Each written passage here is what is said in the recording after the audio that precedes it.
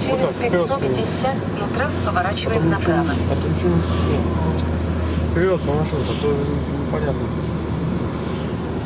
Снимай вот вперед, бок можно. Просто не увидишь потом,